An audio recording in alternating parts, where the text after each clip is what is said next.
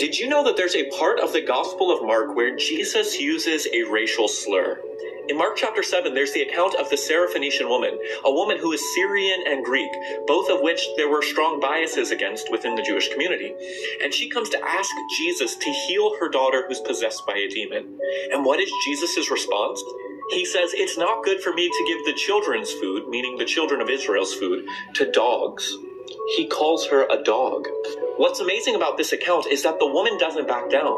She speaks truth to power. She confronts Jesus and says, Well, you can think that about me, but even dogs deserve the crumbs from the table. Her boldness and bravery to speak truth to power actually changes Jesus' mind. Jesus repents of his racism and extends healing to this woman's daughter. I love this story because it's a reminder that Jesus is human. He had prejudices and biases, and when confronted with it, he was willing to do his work. And this woman was willing to stand up and speak truth. that 50 pedophiles were killed today? Um, no. I- in this video, a Baptist preacher is saying that he's glad that 50 LGBT people were killed in the Pulse nightclub shooting. He calls them pedophiles, and later he goes on to say this was a blessing because it helps make society safer. If you are a non affirming Christian, if you are teaching that homosexuality is a sin and that you can't be gay and Christian, this is where your theology leads. It naturally leads to this kind of extreme speech. It naturally leads to these kind of beliefs that it's better for there to be less LGBT people, that LGBT people should be marginalized and even killed. This is the natural fruit of non affirming teaching. This is what you believe. Jesus says, You shall know the truth by its fruit. This is the fruit that non affirming teaching bears. It does not bear the fruit of the Spirit, but of death. First Corinthians, oh, chapter 6, verse 9. Know ye not that the unrighteous shall not inherit the kingdom of God? Be not deceived. Be not deceived, neither fornicators, nor idolaters, nor adulterers, nor effeminate, nor abusers of themselves with mankind, nor thieves, nor covetous, nor drunkards, nor revelers, nor extortioners shall inherit the kingdom of God. And such were some of you, but you were washed, but you are sanctified, but you are justified in the name of the Lord Jesus Christ. Here we go again in NIV version. 1 Corinthians 6 9. Do you not know that the unrighteous will not inherit the kingdom of God? Do not be deceived. Do not be deceived, neither fornicators, nor idolaters, nor adulterers, nor homosexuals. And that word homosexual is dealing with effeminate. All right? Homosexual. There's a there's a kind of notes on the side note. Homosexual, male homosexuals. Nor sodomites, nor thieves, nor covetous, nor drunkards, nor revelers, nor extortioners will inherit the kingdom of God. Look at the book of Jude, because homosexuals will try to say that Sodom and Gomorrah was not destroyed because of their homosexual acts, but they were destroyed because they were not loving and giving. Now look at what the book of Jude says. Jude chapter 1, which is the only chapter, verse 6. And the angels who did not keep their proper domain, but left their own abode, he has reserved in everlasting chains under darkness for the judgment of the great day, as Sodom and Gomorrah and the cities around them in similar manner to these, having given themselves over to sexual immorality, immorality and gone after strange flesh are set forth as an example, suffering the vengeance of eternal fire. Why was Sodom and Gomorrah judged? Because they went after strange they went after strange flesh. So you mean to tell me a Christian can be gay? There's such thing as great Christians, so God destroyed righteous gay people, right? Nonsense a bunch of nonsense is heresy and what this guy who is a who is a homosexual church leader is trying to do is twist the scriptures and he's leading people to hell and he's doing it through emotional pleas okay people of god uh, you saw it I mean, this guy is uh, open. You know, obviously he's homosexual, uh, and he's apparently some kind of leader. You know, a, a pastor of some church and stuff. So, but when you look at the videos and you look at the blasphemous things that he stated, he basically said that the woman rebuked Jesus Christ because Jesus had bigotry. He was uh, um, pretty much prejudiced. He said that Jesus Christ was prejudiced towards this woman. Now, that is blasphemy. So, Jesus Christ, who specifically said, the word of God says, excuse me, that all things were created through him, and by him were all things made. So Jesus Christ is prejudiced towards people that he created, that have been created through him. See, these seducing demon spirits, because of a person's lifestyle that have embraced a lie, the Bible is very clear in Romans chapter 1. They, though they were, they, they think that they were wise, they became fools by embracing a lie. In Revelation, it says, those who practice a lie, those who embrace a lie will be set in lake of fire. See, and notice how, and this that, that video was done on uh Spencer Smith's page. So I'm I'm giving, you know, credit to him because he's the one that kind of that I came across at first exposed this stuff. Well, really didn't expose, but just put the word up against the nonsense of what this guy was saying. And this is what is happening with a lot of people in that lifestyle is that they're following other liars. The blind are leading the blind. This guy, he does not stay with the word of God, and he's doing exactly what Satan did. When Satan took the word and twisted it, when Satan tried to tell Jesus, look here, if you throw yourself off this mountain, didn't God say he'll give his angels? You know, his angels will lift you up. But what did Jesus Christ say? No, the Jesus Christ said that you shall not tempt the Lord thy God. And didn't Satan try to twist the word of God again? See, that's why the Bible says that Satan masquerades like an angel of light, and no wonder so do the his ministry, his his his ministers of his. These, this guy right there that you just saw, that's one of the ministers of the devil. That's exactly what it is because he comes against Jesus Christ. He tries to say, well, Jesus Christ was human and he had to repent. So if Jesus Christ had to repent, then that means his death on the cross was in vain because the Bible says he was the lamb without spot or blemish. He was the perfect sacrifice. He was the perfect lamb slain before the foundations of the world. He was born by the Holy Spirit. He was not born into sin. And the Bible says he knew no sin. Okay? He knew no sin. So how in the world does this does this guy who is a liar sit up here and say that Jesus Christ had to repent because the woman corrected him? The, basically, he said the woman was more correct than Jesus Christ was. She was more correct than he was. She had to rebuke him. See, what he's trying to do is paint this picture that Christians are the ones that are wrong and homosexuals are the ones that are right. And so he tries, what he does is do all this stuff to lie. He's a, he's lying and he's deceiving people. And I, I know people have probably went at him on social media and everything, but people of God, you're dealing with a reprobate mindset. That's what you're dealing with, a reprobate whose conscience is seared because he thinks what he is saying and by him getting the applause of other homosexuals and everything and i'm not even you know uh, uh, uh, bashing anything. It's, it's i'm saying exactly what the scripture says. And so and so when you have somebody like that then they don't have the spirit of god in them. So he cannot make any claim about the holy spirit because he's not living holy.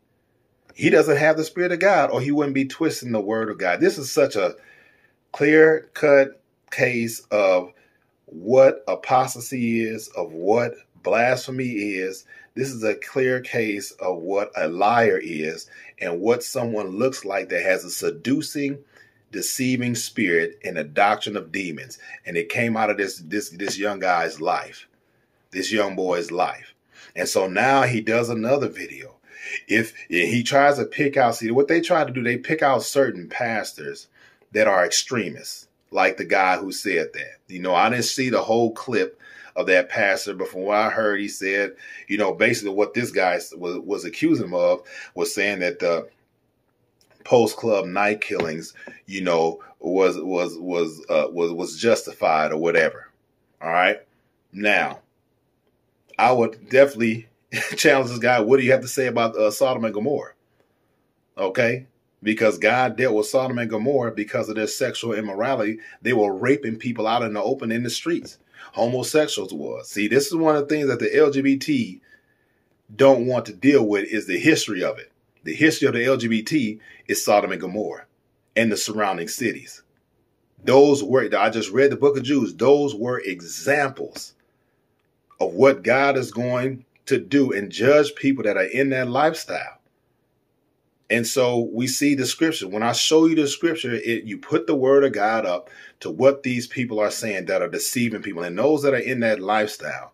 That's why First Corinthians chapter 6, I believe it's verse 11, it says, And such were some of you, but you have been washed. That means that they turned away from their lifestyle. So those, so people in homosexuality, people that are covetous, people that are idolaters, they have a chance to repent and turn away from it, and the Lord can set them free. And for those that want to say that they were born gay, you can be born again. Why not be born again by the Spirit of God and turn away from that? See, a lot of times these people that are in that lifestyle, they're suffering from a spirit of rejection because this is where a lot of things where demons attack a womb of the of the, of the mother because of the rejection that that child faces in the womb.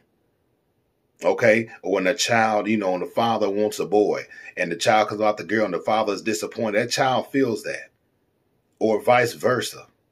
All right. Not only that, but a lot of these people that's in that lifestyle, and I say these people because I'm I'm saying these people. That's what you. That's how you just you just use plain English and stuff because people want to twist that. Or why do you call them these people? And look, people that are homosexual and lesbians that are in this lifestyle have been molested but they won't tell you that stuff. See, they what they try to do, they try to suppress the truth. They try to suppress the truth to make it seem like what they're doing is okay. What they're doing in their lifestyle is okay, and they can't change it because they were born that way. So when people come out of that lifestyle that have openly, they've been all over YouTube, everything. You see former homosexuals, former transgender, former, you know, lesbians that come out of that lifestyle and talk about how God delivered them, how Jesus Christ saved them. That exposes the whole entire LGBT lifestyle. It exposes it. But they don't. You don't see them on a news medium. You don't see them, you know, on on, these uh, secular talk shows giving their testimony because the world doesn't want to hear that. The world wants people to be to stay in bondage, and people like that young guy, he's being used as an instrument of the devil to keep people in bondage because he suppresses the truth. He suppresses the truth. He won't say anything about First Corinthians chapter 6, verse 9. They won't teach anything about Romans chapter 1. And so, and the reason why this stuff like that, uh, uh, somebody that they try to have, you know, they got their own queer James Bible, by the way, which is another lie. Isn't it something how they never make the the the the, the queer Quran or the queer, you know, Hindu book or anything like that? No, they go the devil goes after the word of God. He tries to discredit the word of God. And he uses his ministers of his, like this guy, to spew out things and say stuff to try to cater to the emotions of people because excuse me, my goodness to cater to the emotions of people because when you when you uh, uh, stir somebody's emotions, you can easily deceive them. But the people that have the Holy Spirit, they're going to see right through this man's lies. And that's what it is. He's a liar. He's a deceiver and he's a seducer and he's under a seducing demon spirit. And now, because he can go, you know, people can go on there, the TikTok is dangerous because you got a lot of people on TikTok spewing things out like that. It can be very dangerous. But to hear somebody say that Jesus Christ was has, has was had had a bigotry in him and was prejudiced and had to repent is utter blasphemy. It's, it's blasphemy. When you see that the word of God specifically says that Jesus Christ knew no sin, he was a perfect lamb. He died for sinners. He died so that the world through him might be saved. All right. He's the righteousness of God. He's the fullness of God. He's a fullness of the Godhead. He's a fullness, full manifestation of God. So if Jesus had to repent, that means God had to repent. That means the Holy Spirit was wrong. Because remember, Jesus Christ, when he was baptized, it says the Spirit of God came on him like a dove. And the voice from heaven said, This is my son, whom I am well pleased. And Jesus was led by the Holy Spirit in the wilderness. He was led and used by the Holy Spirit in all the things that he did. He said, I only do what I see my Father doing. I only speak what my Father says. So when Jesus came in contact with that woman, he spoke the truth. All right. And he set the woman free because of her faith in him. That's what got her set free. That's what got her daughter set free because she saw from afar who Jesus Christ was and begin to believe on him. That's where you start seeing how Jesus was really, you know, strong and and and, and, talking to the Jews and, and correcting them and stuff, cursing the fig tree, which was symbolic of of of of of, of, the Jews of that nature of, of, that time, how they would receive the things of the kingdom of God and reject it and all this other stuff. And and he said, Look here, there are other sheep of this fold that I must go and get. Talking about the Gentiles and everything. But but anything, but excuse me, anyway, what Jesus Christ was doing was showing because of this woman's faith in him he was able to uh, he, he, he was able to heal her daughter because it, it, matter of fact it was because of the lack of faith in certain cities he couldn't do certain miracles because of the people's unbelief. But this woman believed. All right? Her persistency and belief. jesus didn't have to repent. Jesus didn't have to you know uh, uh, jesus didn't have any prejudice in him. I mean that, some of them claims that this guy's making it was just it's, it's just so ridiculous. This is i mean kids know this in sunday school you know, kids know, children know about this stuff in Sunday school, knowing that Jesus Christ was sinless. He was perfect. You can even when I'm talking, you certain scriptures of Jesus Christ come up to your mind, and you see right through this man's foolishness. But my thing is this: this is the kind of stuff that because certain people who have the platforms, the big ministries and stuff, they don't confront, don't address. This is the kind of stuff that's able to creep into congregations, able to creep in because you got homosexuals, lesbians on your praise team and your congregation and stuff. Now they got somebody that has a huge following, possibly on TikTok and, and everything, affirming them. All right. Validating them because they're being used in the church after all. So now you can't say a pastor can't be gay because you got them all in the churches anyway. You got them all on the praise team in the youth in the youth group. You got them in the congregations and everything. And and the leader is not speaking against that lifestyle, challenging people to repentance. No, they give them a platform. So now when somebody like this comes along and starts saying this stuff, and people are just like, oh my goodness, where in the world this come from? Well, because a lot of the stuff is taking place in ministries and pastors are not, you know, bold enough to speak up against it and and and, and sit people down that are in that lifestyle instead of just wanting to have somebody on your on your keyboard or the organ or on the praise team you you rather have their musical you know ability or, t- or talent that they have but you don't care anything about where their soul is headed because you allow them to stay up on the stage or up in the pulpit getting applause of people. They they they want that they want that affirmation from people the celebration from people because they feel like if they're being celebrated by people then God must be using them because music has made people in the audience cry. Their ability to play, they know how to sing, you know, uh, uh, uh, uh, songs and and put and interject God's name and everything, and and people get moved with emotion. And so you have a person that's in that lifestyle of homosexuality and lesbianism up on the praise team or or or coming across a pulpit teaching and everything like that, and they're deceiving folks, but they're able to move them with their musical ability. It's not the anointing because the anointing of God does not flow through perversion. And so now you have somebody that comes out This young guy comes out with a priest collar on, everything, saying all this stuff to twist things, and then accuses Christians of being the problem if you speak that homosexuality is a sin. Well, I got news for you. I'm a follower of Jesus Christ, and homosexuality is a sin. And so that does not mean that leads to somebody getting gunned down. So when somebody's in a homosexual lifestyle and they get AIDS, do you ever tell people, hey, if you're living in that lifestyle, you can get AIDS, you can get this this this prostate issue going on in your body if you live in that lifestyle. That's the result of homosexuality. No, they won't tell you that. They won't tell you the, the, the, diseases and everything that's happening in life, that their life expectancy being cut short. They won't tell you stuff like that. The devil is not going to give you the full story. He's a liar. He's been a liar from the beginning. His ministers are liars, like this young man, that he is a liar. He's not going to tell you the full story of what's going on in that whole LGBTQ elemental P lifestyle. As a matter of fact, LGBT means let God be true and every man a liar. That's what this guy is doing. All right, we're to flip it around again. LGBT means that. Let God be true. But anyway, just want to kind of uh, share that and share the, the, the scriptures.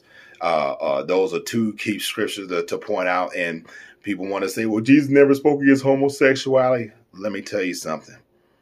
The Holy Spirit, Jesus Christ, and the Father are all one and are all in agreement. The Holy Spirit and Jesus Christ never spoke against each other, never contradicted each other. The Spirit of God that filled Jesus Christ, that was on Jesus Christ, the Spirit of God that inspired the entire Bible, that where you constantly see homosexuality and lesbianism being an abomination in the Old Testament there was warnings about it and God condemned it. He condemned the practices of it. God did not change his mind in the New Testament. He had the same stance. God is the same yesterday, today, and forever. There will not be one homosexual Christian, uh, so-called homosexual Christian in heaven. It's a deception and it's a lie from the pit of hell. And it's a seducing spirit. Because being in that lifestyle, you can't live holy. You can't live right. Nor do you have the Spirit of God. You must be born again and you must depart from that lifestyle, from all that perversion. It is an abomination. It specifically says in the Old Testament, man shall not lay with man like he lays with a woman. All who do so are an abomination. We read Romans chapter 1 all who do such things are worthy of death. Not only do those things, but they approve and encourage others to do those things. Becoming wise, they became fools. And God handed them over to their own lusts and desires, where they began to have men lie with men, women lie with women. Why? Because of their own lusts and desires, and they became foolish.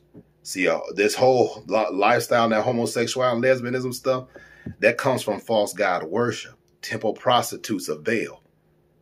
That's how they worship, was getting involved in sexual immorality, sexual acts. Okay? It was disgusting. And what it does is that it completely stops the flow of creation. Because if everybody was homosexual or if everybody was lesbian, you wouldn't have any more children you wouldn't have any more children in the earth. You would, if every, if every dog was gay, was only attracted to male dogs, you wouldn't have any puppies. This is why the Lord says that the that the that the animals will reproduce after their own kind, male and female animals. That's why they brought them on the ark two at a time, male and female. What did God do in the beginning? Male and female, He created. He created them. So how in the world can anybody in that lifestyle and I challenge anyone in that lifestyle, listen, repent. Because if you think that you're going to live any kind of way and ignore what the word of God says about this matter, you're deceiving yourself. You have to come to Christ. Whatever the struggle is in your heart, whatever it is in your life, whatever traumatic experience you went through, Quit connecting with people that's going to continue to feed you the lie. You have to ask Jesus Christ, Lord, I am struggling in this area. I need your deliverance. I need your deliverance. I see what the scripture says. I need your deliverance. Those who call upon the name of the Lord shall be delivered. I say this to anybody that's in that lifestyle. That's a liar. That's a whoremonger. That's an adulterer. That's a fornicator. That's a cusser. I say this to anybody. If you are in that lifestyle, call on Jesus Christ and he will set you free. You must desire to be set free. That means you got to start changing what you watch, what you're listening to, and who you're hanging around. You're going to have to come out of that group of, of homosexuals, lesbians, cussers, idolaters, whatever. You're going to have to come out of the midst of them. That's what the word of God says. Come out from amongst them and be separate.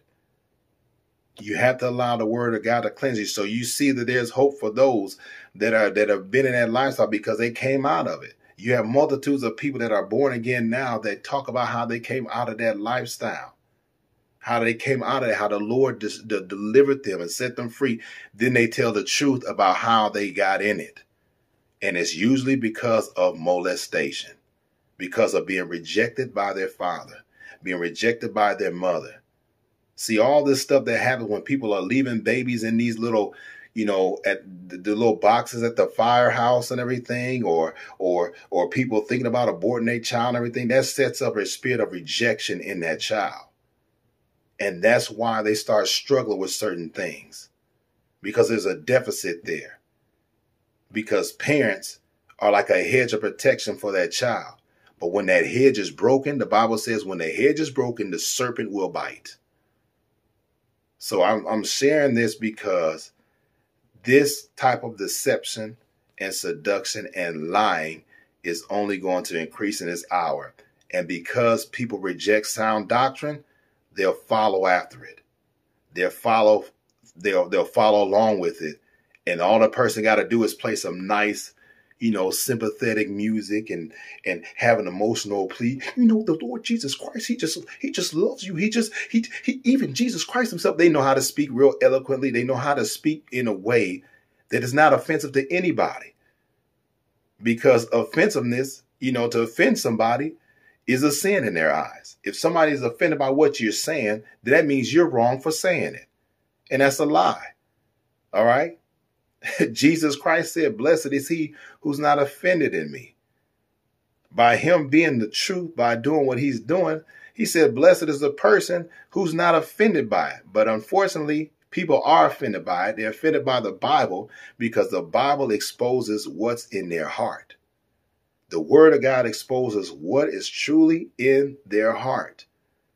And because they don't want to humble themselves and repent and come to the Lord, they rather get offended and they lash out at the messengers. We've seen it all throughout the Bible. You see what happened to the apostles, how they were beaten. You see what happened to Stephen, how he was beaten. Why? Because the word of God and speaking on Jesus Christ and who he is is a stumbling block to the unbelievers. And it exposes their hearts to where they become angry and full of rage. So in actuality, it is those in that lifestyle their LGBT lifestyle, whatever, lifestyle, whatever you want to call it, they hate what the Word of God says about them. They hate what the Holy Spirit emphasizes about their lifestyle. Rather than humbling some of them, humbling themselves to come to Jesus Christ and repent and confess their sins and repent and ask for the Lord to, to deliver them. No, they want to keep in that lifestyle. They want Christianity on their terms, but they don't want to conform to the terms of Jesus Christ, to the terms of the kingdom of God. That's why the Bible says, Be ye holy, for I am holy. Without holiness, no man shall see the Lord. So we see these things. That's why you ever see a person out here walking around, you know, lesbian, homosexual, confessing Christ. You ever see them heal anybody? You ever see them cast demons out of anybody? You ever see them do anything, have a gift of discernment, a gift of prophecy? You ever see them doing operating in these gifts? No, because it doesn't operate in profane and, and it, it does not operate in perverse lifestyles. Now they may lie and say they prophesy when they prophet lying. Now they may act like they laying hands because we we seen that with, with Tyler Perry and all this other stuff. They act like they know how to put on a form of godliness, but they don't have the spirit of God. So that means that they're not of His. Jesus said, "These signs shall follow them that believe. In my name they will cast out devils. They will heal the sick. If they drink any deadly thing, it will not harm them." People in that lifestyle, they cannot manifest this stuff they cannot manifest what Jesus Christ said because they don't believe. They will say things about Jesus Christ and about God, but they'll twist the scriptures. They will not give you the full counsel of God. They can't because they don't even believe it because they're not living it. That's why the word of God is very clear. Be ye doers of the word and not hearers only deceiving yourself. So they cannot even walk according to the word of God, nor be led by the Spirit, because they're walking in their own lust and desires. And so when we see things like this, people, and this guy tries to say that Jesus Christ, you you you you know the truth by his fruits. That's not what Jesus Christ said. Jesus Christ said you will know a tree by its fruits. And so that tree of perverse living, you'll know by its fruits because it's a lie. It's a lifestyle full of lies a man attracted to other men or a woman attracted to other women, other women is a lie. So the fruit of that LGBTQ transgender lifestyle, it is full of lies because it goes completely against the word of God. It goes completely who God created that man or that woman to be. And it goes completely against God's order of reproduction in the earth because two men can't reproduce anything. Two women can't reproduce anything. They cannot produce after their own kind. You need a man and a woman. That's the way it's been in all creation. Insects know that. Animals know that. Monkeys know that. Whoever. They all know that. But unfortunately, human beings think they know better. Some human beings think they know better than God and want to go against it. That's why they can't they can't they can't tell the truth. If their lifestyle is a lie, a man that doesn't like men but wants a, a man that acts like a woman is confused. Just like a woman who doesn't like who doesn't want a man but wants a woman that acts like a man. They're confused. There's the things, you know, psychologically, you know, even often. Of course, this is an evil spirit, and that's what it is. And so things like this, people, are what's popping up now. And unfortunately, because certain people won't speak out against it, they're sitting up here, you know, voting for, for, for political parties that or political candidates that support this stuff to increase it. Now it's being taught to the children. Now it's being taught to the schools to go after the children, to seduce the children. Now it's being put up all up on cartoon networks and and commercials. Notice that they're putting more and more perverted people on these commercials.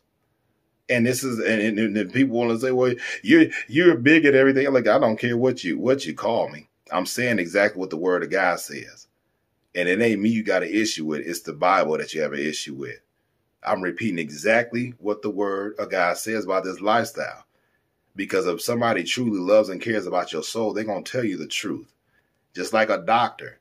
If he didn't tell certain people that they had a disease operating in their bodies, does it mean that he loves them for because he, he would not tell them the truth? And he said, "Oh, your your your, your charts look good. Your cholesterol levels are fine. Everything is fine. Go ahead. You know, I don't want to. I'm not going to tell them that. You know, that they they only got two months to live. I'm not going to tell them anything like that because I don't want them to accuse me of being, you know, a Doctor Death or being, you know, Doctor Kevorkian or something like. That. I don't want them to accuse me of doing that stuff. So I'm just going to tell them what they want to hear. That's not true love. That's not true. That's not true uh, care and concern for your neighbor. You tell them the truth, because when you know the truth, the truth will set you free. But when you're covering that up with lies, you're trying to suppress the truth and trying to live a lifestyle of lies, then you're going to follow the follow the father of lies straight to the lake of fire. And that's what this guy is leading people. If it's in the word, it's in the word.